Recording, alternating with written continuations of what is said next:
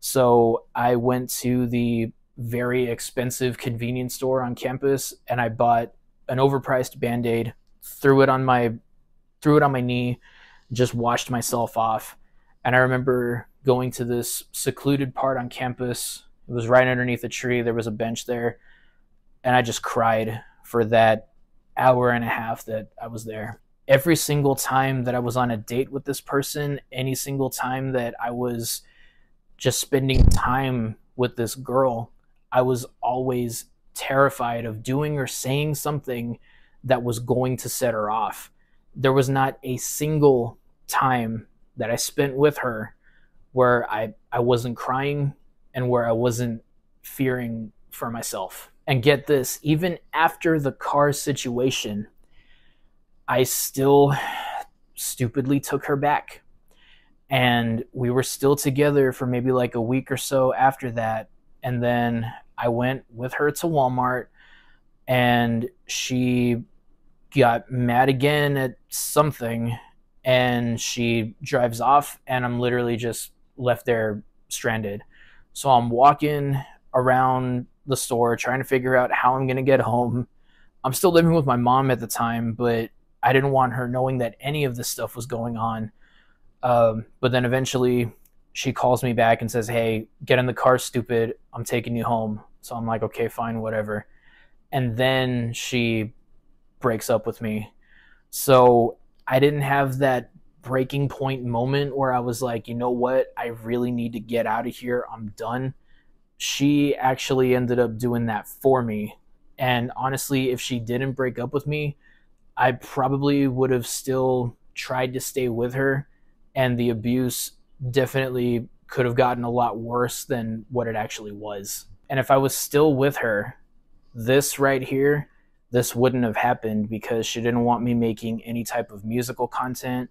She didn't want me making videos on YouTube or anything of that nature because she says that I craved attention, whatever that may mean. She said the only attention you need to be craving is mine because that's all it came down to. She didn't want me putting myself out there on the internet because she thought that girls were going to be like flocking to me, which that obviously doesn't happen. And that was another breaking point in this story because I am a musician and music and content creation at the end of the day are the things that truly keep me happy. It keeps my mental health in check.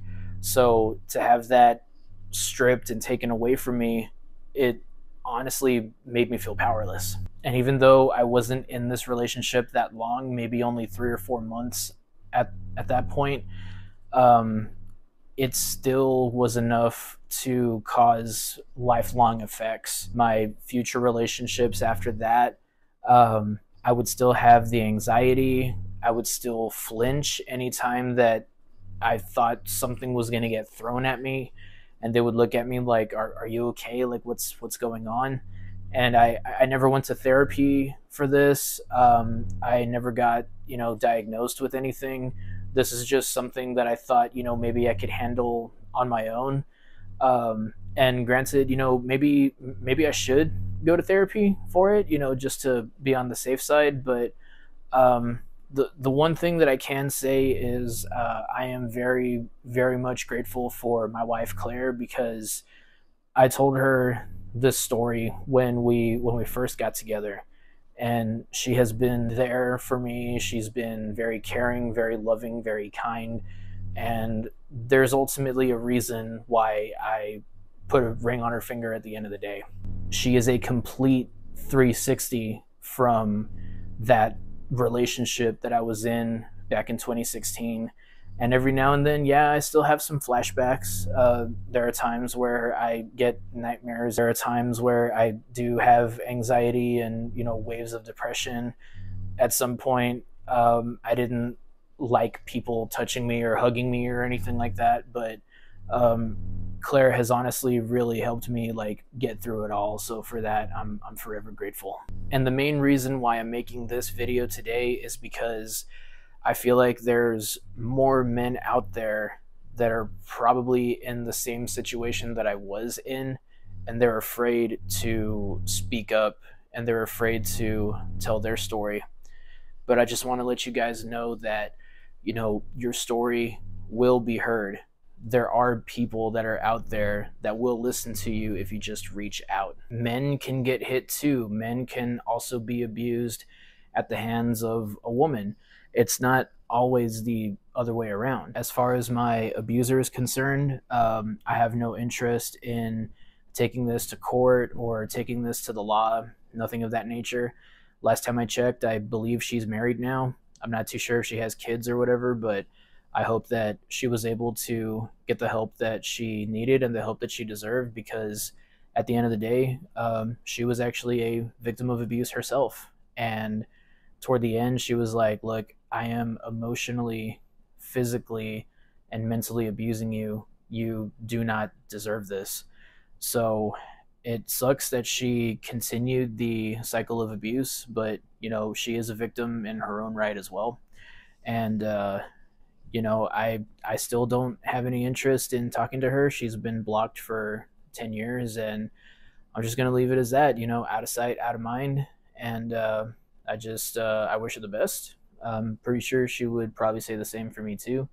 But yeah, I got no interest in speaking to her ever again. And honestly, I've been doing a lot better ever since. And for any detectives back home that are trying to figure out like who I'm referring to or anything like that, even if you do know her name, uh, I'm gonna filter out her name or anything related to it in the comment section. So even if you try to comment it, it's probably not going to come out. And I'm looking, I'm not looking for any type of apology from her either or anything of that nature.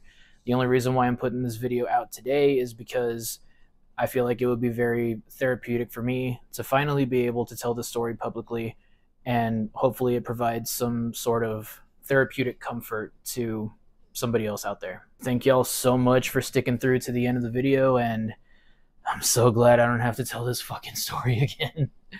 oh man, it feels it feels really good to finally let this out, man. I love each and every single one of you guys. If anybody out there is going through something similar, do not be afraid to reach out, even if it's through me. I'm more than willing to listen to your story at the end of the day. So, on that note, I'll go ahead and see you guys in the next video. Thank you for listening.